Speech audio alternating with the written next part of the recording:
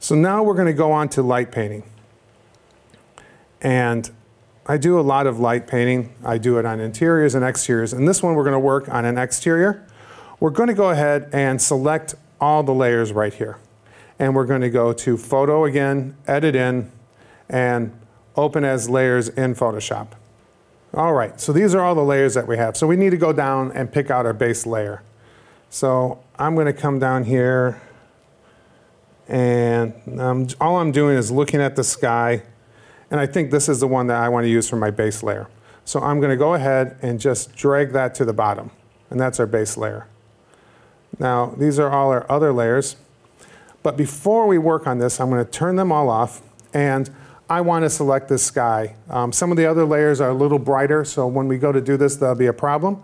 So we're just going to go to the quick select tool, go ahead and select our sky, come down here, and select some more of this area right here. There, that should do it. And now I'll zoom out. And what I want to do is I'm just going to turn on my next layer and I'm going to create a mask. But it's the wrong way, so I am going to invert it. And there we go, we have our sky.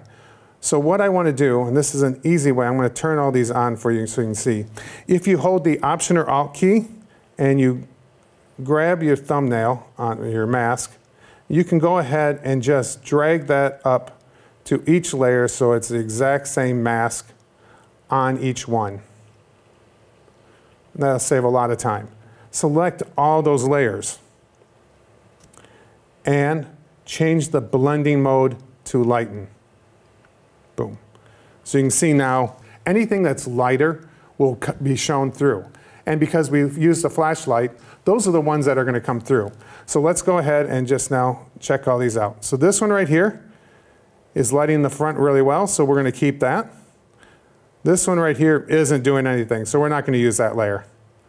This one's lighting up the tree over here, but it's also giving me a funky light on the grass over here. So on the layer mask, I'm just going to go ahead and use my paintbrush tool again.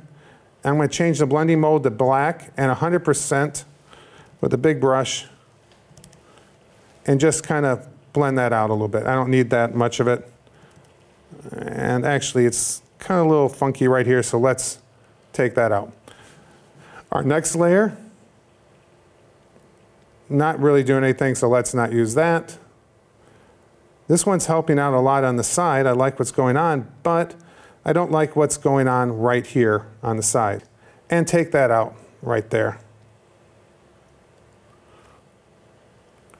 Go to our next layer. I like what's going on again here, but it's a little hot up here. So I'm just going to use a big brush at 20% and just take it down a little bit where it's hitting the house right there. I'm also going to go to 40% and paint out over here where it's coming through. Let's go on our second last one. Oh, that one's really lighting up the front. I like that a lot, but I don't like how bright it is here. So again, using our brush, making sure we're on that layer. 30%.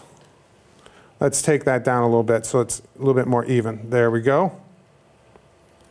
And I think that's looking good.